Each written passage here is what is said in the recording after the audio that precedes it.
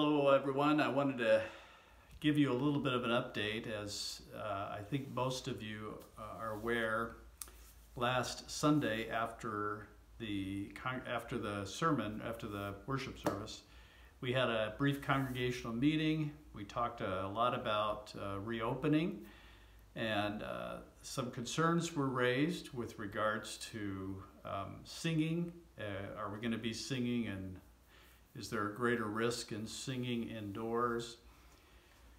And so I mentioned that we were having an elder meeting uh, this week and that we would talk about that after getting some input. Uh, many of you also responded after the congregational meeting. One thing is uh, crystal clear.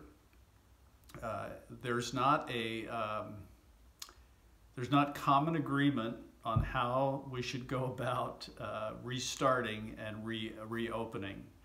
So let me restate some things, hopefully with even more clarity than from before, before I talk about our, our decision that we made uh, today.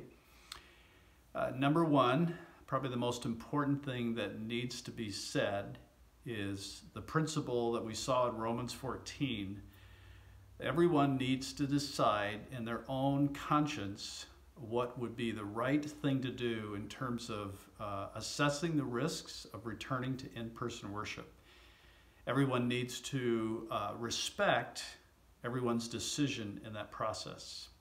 What we want to avoid, what, what I want to avoid, is implying in any way whatsoever that the brave people are the ones returning, the scared people are the ones staying home. Uh, that, that is simply uh, an absolute uh, untruth. Um, everyone needs to figure this out for themselves. Um, we, are, we are not offering an in-person worship service because people want to get back together and see one another. We're offering an in-person worship service as one option to continue to help people worship and to appreciate and value the, the sense of being together um, in person. One thing that is true of every single person that I have interacted with, we all want to be back together again in person in a safe environment worshiping the Lord. That is the most important thing of all. So, we recognize that there is some significant risk to singing uh, in person in terms of, uh, well, I won't go into all the engineering and medical details of that. Let's just leave it at that. So in an attempt to try to solve this problem, this is what we're going to do. Keep in mind, uh, this is experimental. This is what we're going to try for now. Uh, and that is during the uh, next three Sundays, not starting this Sunday, but starting June 14th, the three Sundays of June after that, uh, so June 14th, 21st, and 28th, we are going to be experimenting with a outdoor service where the risk is significantly less. We're looking into some of the variables we have to deal with with that.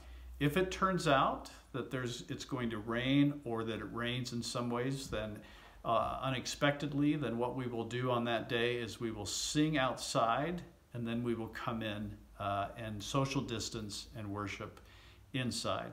But for now, we're going to uh, trust the Lord and we're going to attempt an outdoor service for the first three Sundays uh, of uh, June in the lower parking lot. Again, please uh, be patient with us as we try to figure out how to move toward uh, that place we all want to be someday. And by God's grace, I'm confident we will get there. Uh, so um, thank you for praying for us. Many of you uh, sent me detailed, uh, helpful uh, emails, uh, calls, whatever. along with the other elders. And so pray for us and pray for these churches as they regather. Uh, many have already started regathering. So um, let's move forward and uh, see what the Lord will do.